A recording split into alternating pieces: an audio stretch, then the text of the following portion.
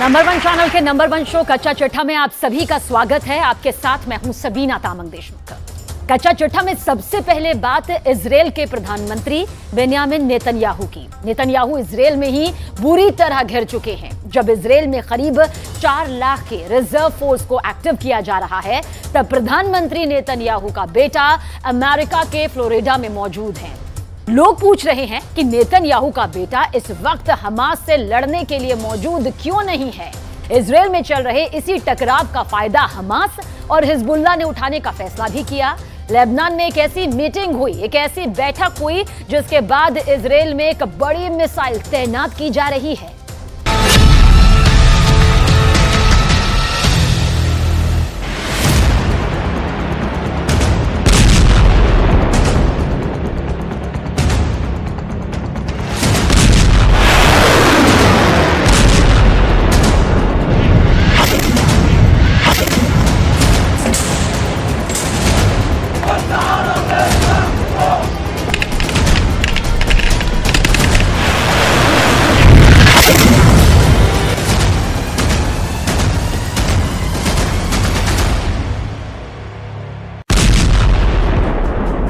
जब गाजा में ताबड़तोड़ बमबारी जारी है, इमारतें ढहाई जा रही हैं, सैकड़ों लोगों की जान रोज जा रही है।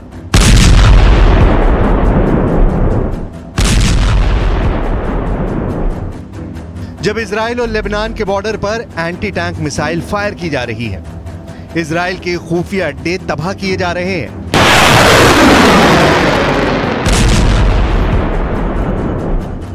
जब अमेरिका से लेकर रूस और ईरान से लेकर तुर्की तक इसराइल पर बहुत बड़े हमले की बात चल रही है। जब पश्चिम एशिया की राजधानियों में इसराइल के खिलाफ हज़ारों लोग प्रदर्शन कर रहे हैं इसराइल के खिलाफ युद्ध का पूरा माहौल बन चुका है।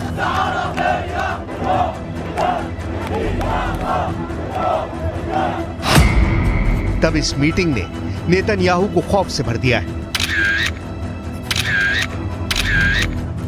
ये तीन लोग हैं। गाजा की हुकूमत चलाने वाले हमास के पॉलिटिकल ब्यूरो के उप प्रमुख साले अरूरी और साथ में फिलिस्तीन इस्लामिक जिहाद के महासचिव जियाद नकाले और इन दोनों ने लेबनान की राजधानी बैरूत में जाकर हिजबुल्ला के चीफ हसन नसरल्ला से मुलाकात की है। ये तस्वीर जारी होने के बाद दो लोग बहुत ज़्यादा टेंशन में हैं। गाजा और इसराइल के बीच चल रहे युद्ध ने पूरे पश्चिम एशिया को तीसरे विश्व युद्ध के एपिसेंटर में तब्दील कर दिया है। और इसकी वजह से दो ताकत सबसे ज़्यादा फ़िक्र में डूबी हुई हैं। पहले हैं इसराइल के प्रधानमंत्री बेनियामिन नेतन्याहू और दूसरे हैं अमेरिका के राष्ट्रपति जो बाइडेन। दोनों की टेंशन का मीटर लगातार रेड लाइन को पार कर रहा है। इस तस्वीर को लेकर खौफ बहुत ज़्यादा है।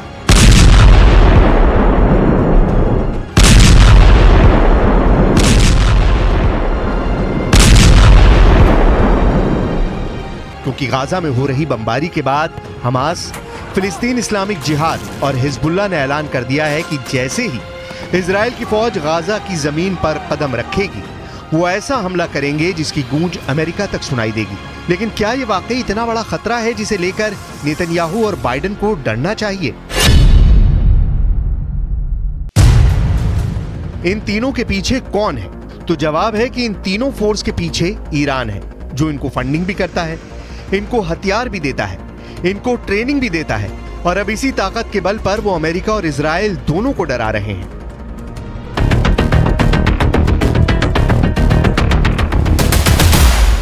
हमास, फिलिस्तीन इस्लामिक जिहाद और हिजबुल्ला इन तीनों ने अपने नए वीडियो जारी करने शुरू कर दिए हैं। हमास ने ड्रोन अटैक का वीडियो दिखाया है, जिससे तेल अवीव और इसराइल के कई बड़े शहरों पर हमले किए जा सकते हैं। तो हिजबुल्ला ने लेबनान इसराइल बॉर्डर पर कई हमले करके साबित कर दिया है कि इसराइल की उत्तरी सीमा अब सुरक्षित नहीं बची है।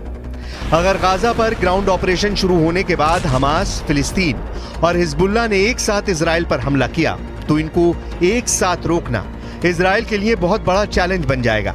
और तब अमेरिका की मदद लिए बिना हालात ऐसे बन सकते हैं कि ये तीनों फोर्स इसराइल की सेना को रौंद कर आगे बढ़ जाएँ। गाजा में हमास के लड़ाकों की तादाद 40 से पचास हज़ार के करीब है। उत्तर की तरफ़, लेबनान में। मिलिशिया हिजबुल्ला की तादाद एक लाख से ज़्यादा है। इनके सामने इसराइल में एक्टिव और रिज़र्व फोर्स मिलाकर 6 लाख से ज़्यादा सैनिक हैं। ये आंकड़े बताते हैं कि इसराइल के पास चार गुना ताकत है।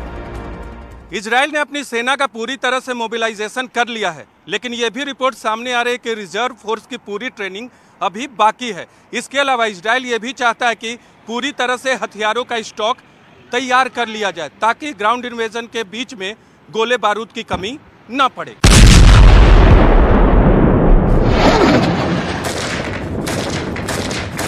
लेकिन हमास और हिजबुल्ला के गुरिल्ला युद्ध में मुकाबला करने में फौज की तादाद से ज़्यादा लड़ने का तरीका मायने रखेगा। गाजा के अंदर लड़ाई आसान नहीं होगी, ये हमास का इलाका है। तो हिजबुल्ला को सीरिया में आईएसआईएस के खिलाफ युद्ध लड़ने का अनुभव है। इसराइल के सामने संकट बड़ा है, लेकिन उसे अमेरिका की मदद मिल रही है।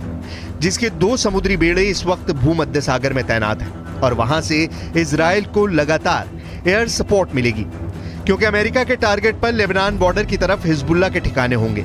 इस बीच संयुक्त राष्ट्र में इसराइल को लेकर एक बड़ा मोर्चा खुल गया है, क्योंकि खुद यूएन के महासचिव एंटोनियो गुटेरेस ने ऐसी बात कह दी है कि इसराइल ने उनका इस्तीफा मांग लिया।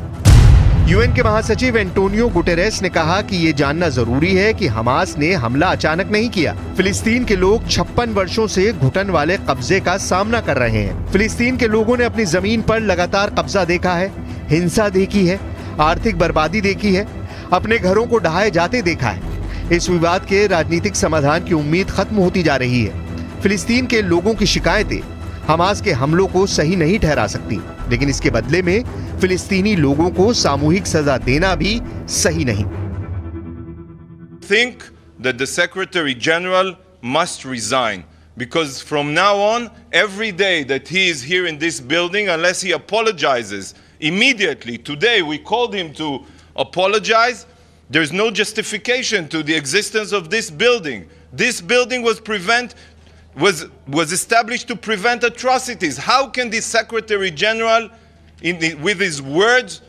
justify in any way the terrible atrocities that happened to our civilians, innocent civilians?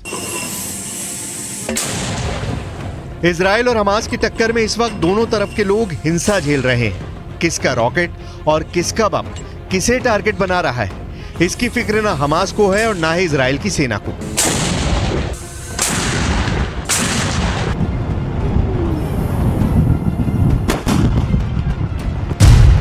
सात अक्टूबर को हमास के हमलों में इसराइल के करीब डेढ़ हज़ार लोगों की मौत के बाद इसराइल की लगातार चल रही बमबारी में 25 अक्टूबर तक छह हज़ार लोगों की मौत हो चुकी है। इनमें ढाई हज़ार से ज़्यादा बच्चे हैं, जबकि घायलों की तादाद अठारह हज़ार पहुँच चुकी है।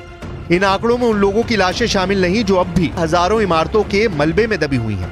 यहाँ इसराइल की बमबारी में गिरी एक इमारत में कई लोग दब गए और इनमें से एक को यहाँ ज़िंदा निकालने की कोशिश जारी है। रेस्क्यू ऑपरेशन रात में चल रहा है। यहाँ बिजली नहीं है।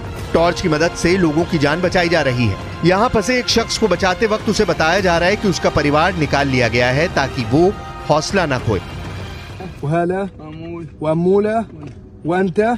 100%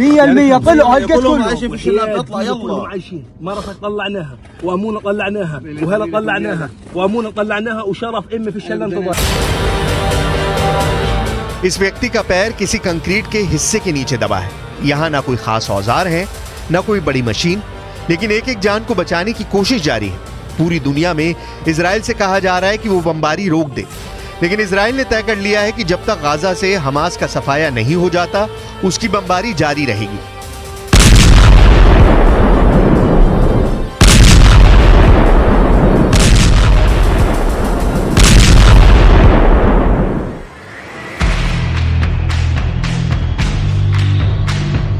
लेकिन दक्षिण इसराइल में युद्ध का खौफ देखा जा सकता है। हमास के रॉकेट हमलों के बाद यहाँ की सड़कें खाली हैं।